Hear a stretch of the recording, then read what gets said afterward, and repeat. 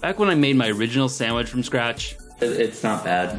one of the big factors, and there were a couple, that made it only not bad, were my disappointing pickles.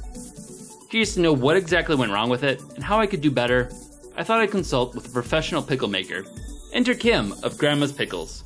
I was really shocked to watch your pickle episode. Botulism is the one thing that you have to really be careful about. I didn't actually make pickles then. No, you made salted water cucumbers.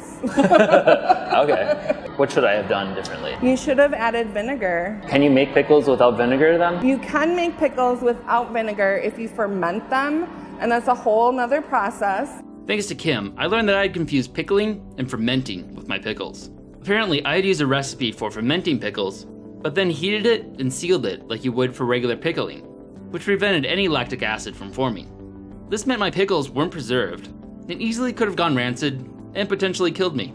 Oh, can you show me how to make some pickles Of then? course, why don't you come over here and start cutting some cucumbers? These ones we're gonna cut into spears. I always cut them each individually to make sure you have the best looking spear that you can, because I do everything by hand. Kim explained that a key to making really good, crisp pickles is to use as fresh a cucumbers as possible, as they'll get softer the longer they sit. So I already have some jars, so you can put what you want in them for flavors. So I have chopped garlic for you, and you need about a heaping teaspoon in each one. So we're gonna put some dill in. I always leave on the stem. If you want to use pepper or mustard seed, try new things and see how they work out. And if they work, awesome. If they don't, there's always the garbage. So let's put some cucumbers in jars now.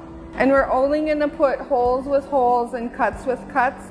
And this is the top secret brine. Kim didn't want to give out her secret brine recipe, but she did recommend a roughly 50 50 mix of water and vinegar. The most important thing is that you reach a pH below 4.6.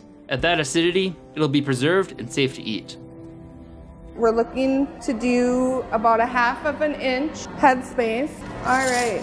So we're gonna put on the, the lids and it's just nice to make sure there's nothing on that rim so that lid seals. And then we're just gonna do them fingertip tight. So we're not gonna crank them down. We're just gonna make sure that they're on there. And then we're gonna put them right in the canner. We're gonna pull them out when the timer goes off because that's where you're also gonna lose quality is if they sit in that hot water bath forever in the day. Don't think you're gonna have yummy pickles if you let them boil for 30 minutes because you'll have squishy, gross things. We're almost there. There'll be pickles soon. See, those are pretty good. So the one thing that I started doing too was just flipping a towel over to get all the water. A lot of times the saltiness of the brine will get on the jar and then it'll get crusty. So we'll let those seal. Well, now comes the hard part.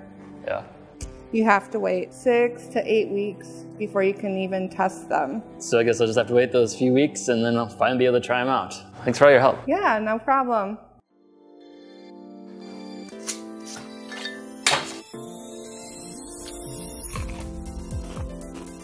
Now that is a good pickle.